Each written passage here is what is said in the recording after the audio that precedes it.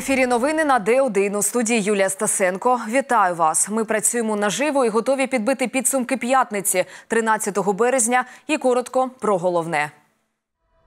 Жертва коронавірусу в Україні у Житомирській області померла 71-річна жінка. Стоматологічна клініка державним коштом під вивіскою навчальної лабораторії працює приватна лікарня. Світлий, просторий у скандинавському стилі. Обласні чиновники показали, як виглядатиме новий термінал у Дніпрі. Українка померла від коронавірусу. 71-річна мешканка Житомирської області нещодавно перетинала кордон з Польщею. У четвер її шпиталізували з лабораторно підтвердженим випадком КОВІД-19. Міністерство охорони здоров'я запевняє, що рідні та близькі померлої, з якими вона контактувала, перебувають під наглядом лікарів.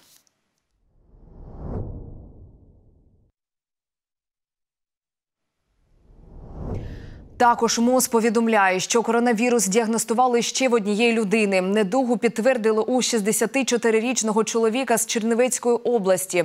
Його дружина на початку березня повернулася з Італії. Хворого ізолювали з контактними особами. Працюють медики. Тим часом міністр внутрішніх справ Арсен Аваков заявив, що в окупованій Горлівці Донецької області зареєстрований ряд випадків коронавірусу. Через це ухвалять рішення про зміну режиму на пунктах пропуску з територіями які підконтрольні бойовикам. Ми пропонуємо е, режим обмежень для іноземних громадян 100% по пунктам зіткнення нашого на пунктам пропуска. І ми пропонуємо пропускати громадян України, які мають реєстрацію на неокупованій території, для того, щоб мати більший контроль. Зараз ми маємо інформацію попередньо о 12 случаях коронавірусу, які є розповсюджені в Горловці. Тому ми повинні зробити контроль. Виробнича травма трьох жінок збив Нісан на нерегульованому пішохідному переході навпроти будинку профспілок у Дніпрі. ДТП сталося, коли автівка повертала на перехресті вулиці Половицької та проспекту Яворницького. Жінки тільки но вийшли з робочого офісу, розташованого у цій будівлі, та прямували додому. В однієї постраждалої перелом гомілки та ймовірно струс мозку. Друга жінка сильно вдарилася головою. Їй наклали лангету. Третя за медичною допомогою допомогою не звернулася. Двох постраждалих забрали до лікарні. Я услышал удар, повернулся, машина і жінки котяться. Повертала з цього ряду, вона не повинна з цього повертати. Вони стоять на пішохідному переході, вона стартує, ви подивіться на її каблуки. Вона нажимає на педалі і прямо збиває їх на пішохідному переході. Три чоловіка одразу одновременно падають. Приватний бізнес державним коштом понад 20 мільйонів бюджетних гривень з 2018 року витратили на закупівлю стоматологічного обладнання в Дніпропетровській медичній академії. Формально апаратуру преміум класу купували для науково-дослідницького центру Інтерстом, який нібито є навчальним центром для студентів-стоматологів та працює на базі кафедри стоматології, імплантології та парадонтології. Насправді ж під вивіскою навчальної лабораторії функціонує справжнісінька приватна стоматологічна клініка.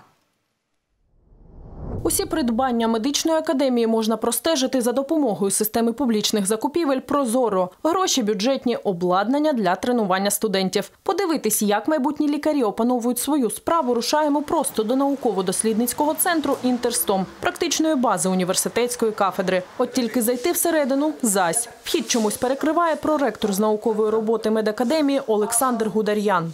Камеру виключи. Ну виключи камеру. Я не телезвезда. Спілкуватись чоловік геть не налаштований, проте на запитання про студентів відповідь таки дає. Переконує, у майбутніх медиків тут проходять і заняття, і практика.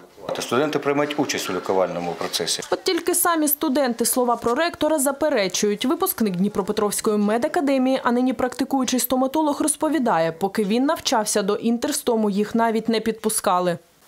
Ну, практики не было точно. Мы вообще не заходили. Саму клинику Ну, там, там рабочая клиника, то есть там были пациенты, доктора, туда мы точно не ну, был запрещен доступ. Туда. Своє обличчя чоловік воліє не показувати, бо зізнається, розуміючи норови, що панують в медуніверситеті, непокоїться за свою подальшу кар'єру. І продовжує насправді в інтерстомі надають платні послуги, і на надсучасному обладнанні, купленому державним коштом, працюють співробітники стоматологічного факультету академії. Те, кто работают э, в этом интерстоме, они же и преподавали у нас.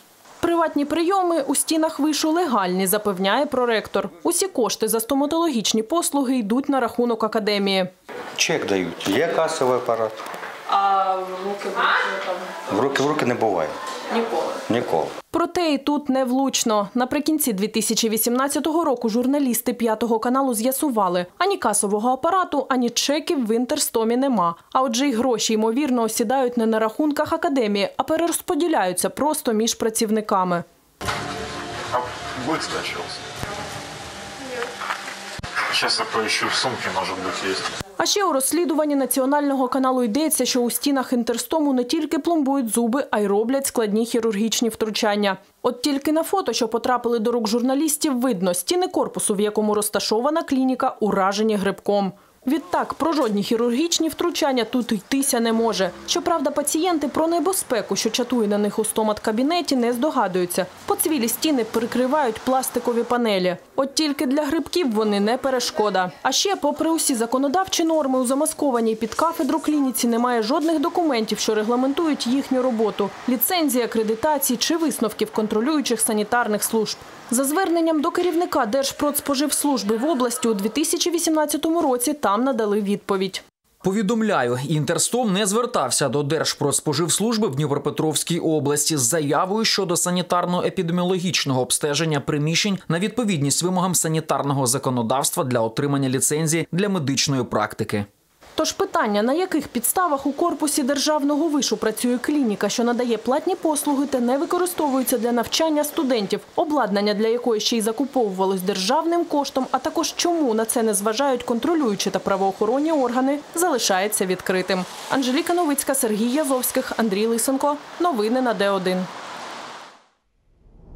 Нацбанк рятує національну валюту, щодня викидаючи на ринок сотні мільйонів доларів золотовалютних резервів. Попри це, курс долара вже майже 27. Як реагує українська економіка на світову фінансову турбулентність, розбирався наш кореспондент у Києві Вадим Коробенко.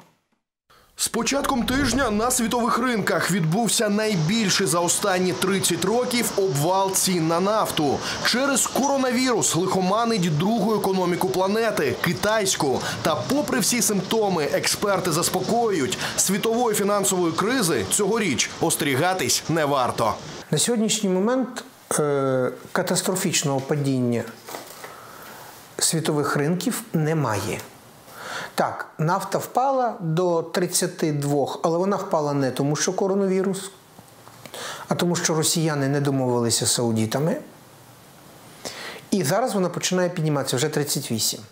Інша справа реакція української економіки з країн, що розвиваються, нині стрімко виходить капітал. Тим паче туди не вкладають кошти. Іноземні власники українських облігацій забирають валюту, створюючи на неї додатковий попит. На переконання більшості фінансових аналітиків у такій ситуації Нацбанк мав би тримати золотовалютні резерви і дати можливість курсу гривні віднайти свою ринкову рівновагу. Натомість валюту випускають за кордон, ще й за привабливим для нерезидентів курсом.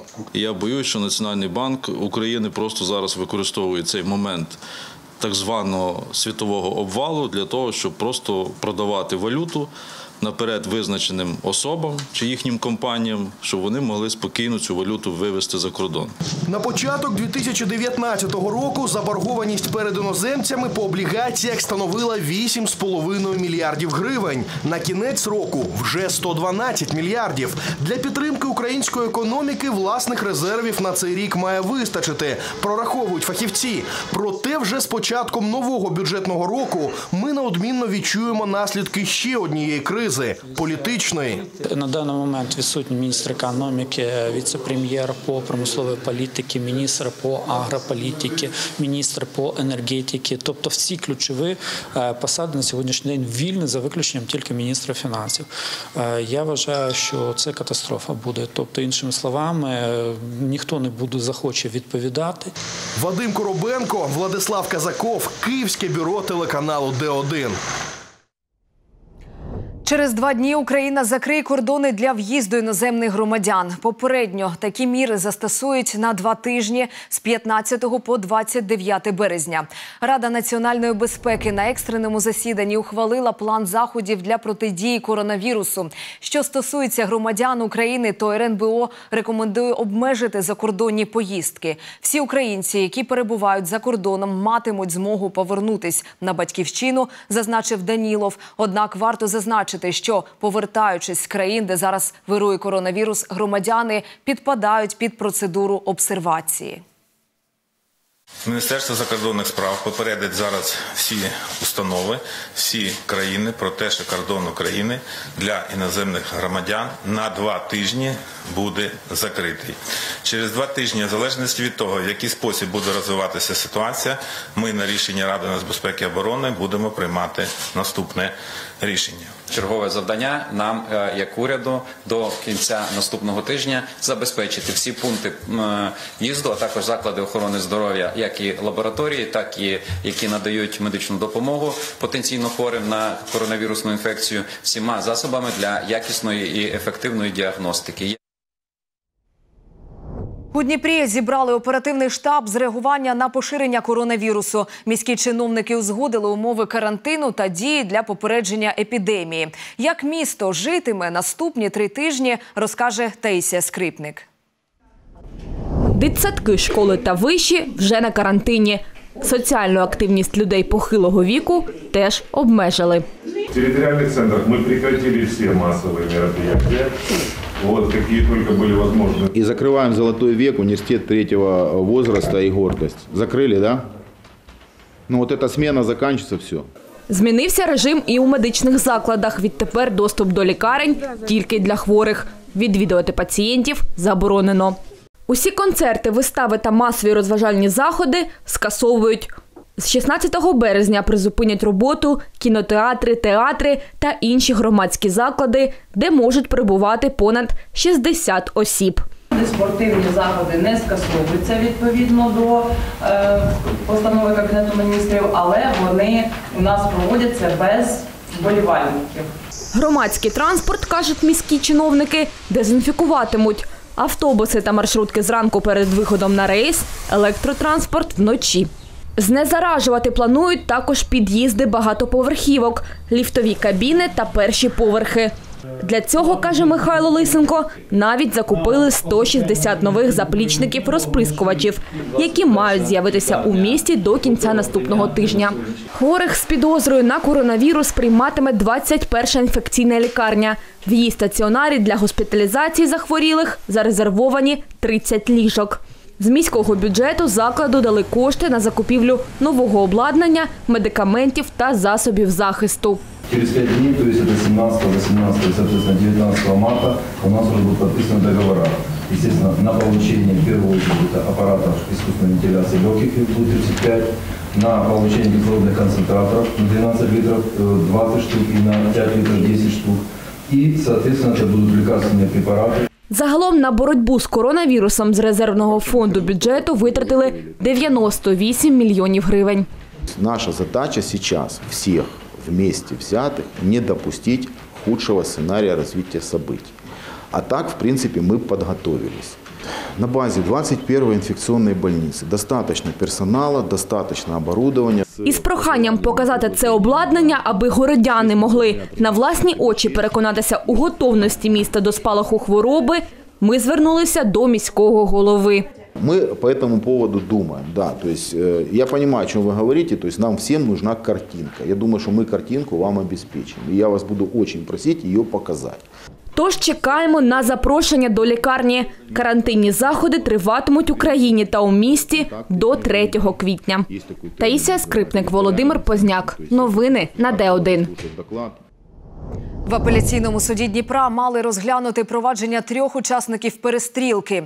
Прокурор вимагає більш суворого покарання для обвинувачуваних. Нагадаємо, 24 лютого на вулиці Титова роздалися постріли. Внаслідок цього постраждали три людини. Суд Шевченківського району виніс обвинувачувальним вирок два місяці домашнього арешту. Сьогодні на апеляцію фігуранти справи не з'явились. Чому знає Інна Таранець.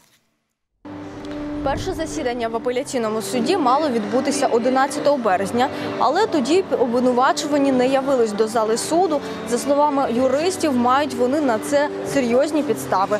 Всі знаходяться у 21-й лікарні з симптомами, схожими на коронавірус. Тому лікарі зараз проводять тести. В даний час він знаходиться в лікарні, і на це в мене є е, свідчення е, з, больниці, в якій він знаходиться. Будь ласка, я хочу передати суду. В зв'язку з тим, що на Україні об'явлений карантин з підрозділу на коронавірус, і е, ці симптоми можуть е, збігатися з тими симптомами, з якими його е, доправили до лікарні. За словами прокурора, 12 березня також мав відбутися розгляд справ ще двох підозрюваних у перестрільці на Тітова. Але вони також захворіли і не прийшли до суду. На даний момент дані особи е, перебувають на стаціонарному лікуванні. В комунальному закладі міста Дніпровська також е, здійснювався виїзд з працівниками до даних закладів з метою перевірки наявності даних осіб у даних закладах. Таким чином, всі засідання перенесли попередньо на 18 та 25 березня. Інна Таранець, Андрій Сергієв. Новини на Д1. Дизайн нового терміналу Дніпропетровського аеропорту презентували в обласній адміністрації. Журналістам продемонстрували зовнішній вигляд будівлі, внутрішнє планування, дизайн та логістику. Стиль обрали скандинавський у світлих тонах. Термінал облаштують шістьма виходами на посадку. Пасажиропотік передбачають до півтора мільйона людей на рік. Відкриття нового терміналу планують на 2022 рік. Проектные работы планируется око- окончить где-то в середине лета, к концу лета. Я буду, со- мы- у нас такое решение, что мы будем поддавливать, чтобы это было как можно быстрее, потому что мы хотим, чтобы летом работы уже начались. С проектных работ они перешли уже на фактически строительные работы. Велике будівництво на Дніпропетровщині. В обладміністрації урочисто презентують, чим займатимуться цілий рік. Обіцяють ремонтувати школи, будувати садочки та поліклініки. Ну і звісно ж, дороги. Та з останнім є проблема: не встигають покласти асфальт, як вже треба ремонтувати ремонтоване. Тож на яких шляхах цьогоріч зникнуть ями та як контролюватимуть якість доріг, дивіться далі.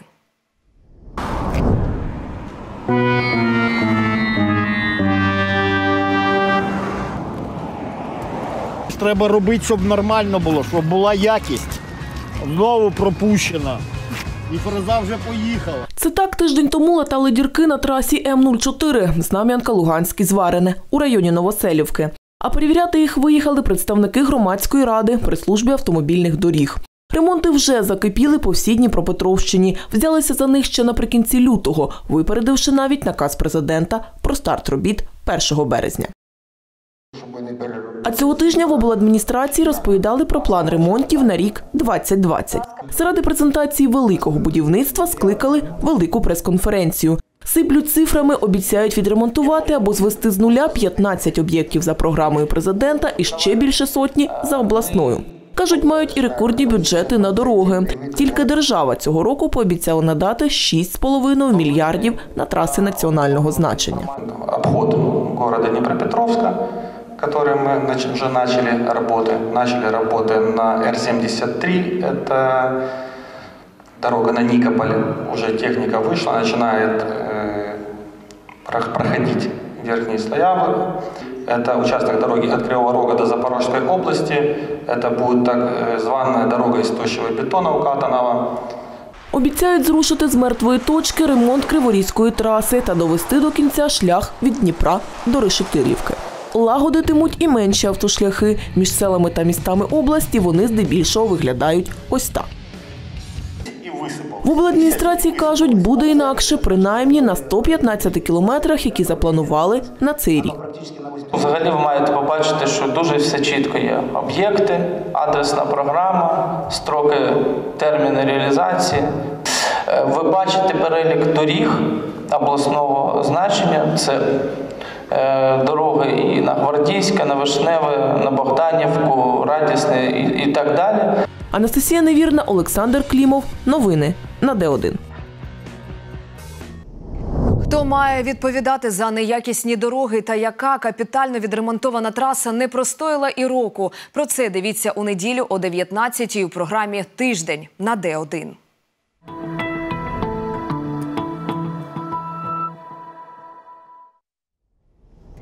І про погоду на вихідні синоптики прогнозують буде хмарно. В неділю в день можливий сніг, вітер західний до 16 метрів за секунду. Температура повітря в суботу від 3 до 12 градусів тепла, в неділю від мінус 1 до плюс 3.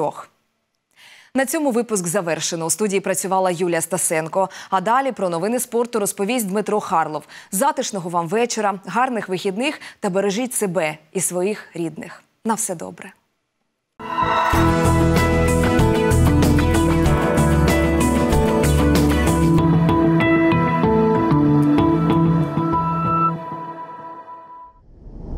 Дякую, Юлія. Спершу про успіхи місцевих рукопашників.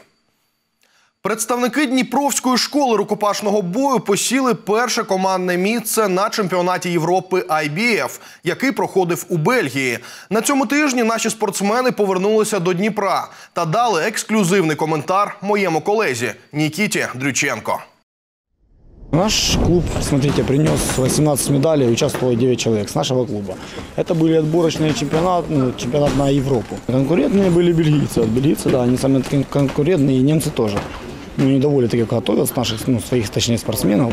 И как бы такие самые серьезные схватки это между нашими и их командами. Ну, для тех, кто уже ездил, их как бы все-таки показать достойный результат, то, что они тренировали, поддерживать это все. Чемпионом это ж легко быть, а его нужно еще удержать это все.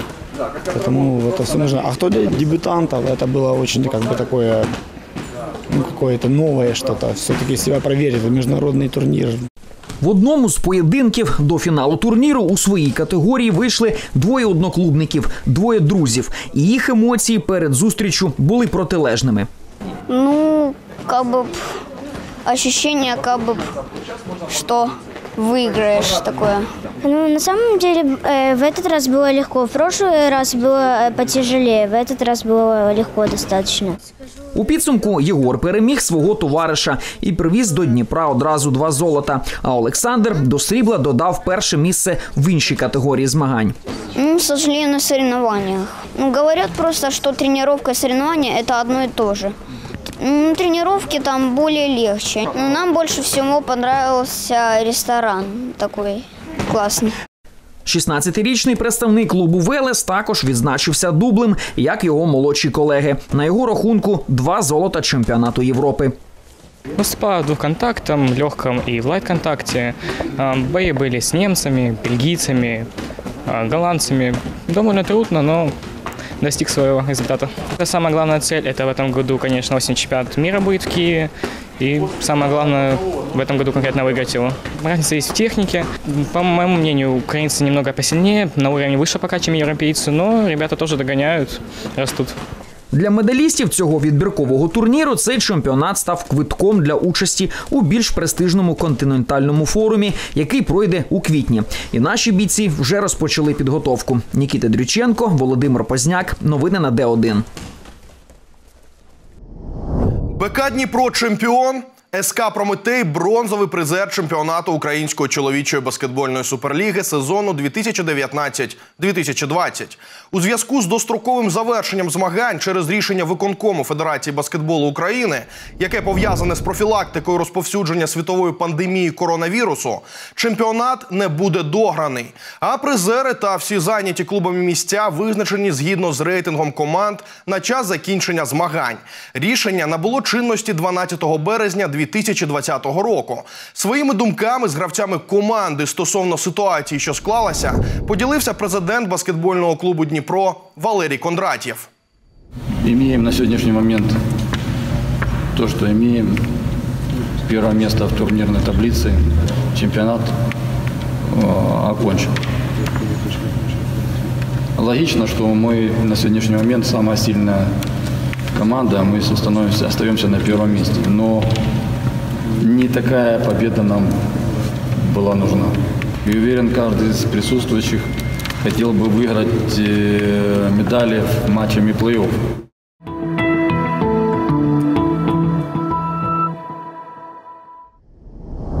Жіноча волейбольна команда спортивного клубу Прометей наразі продовжує боротьбу в суперлізі.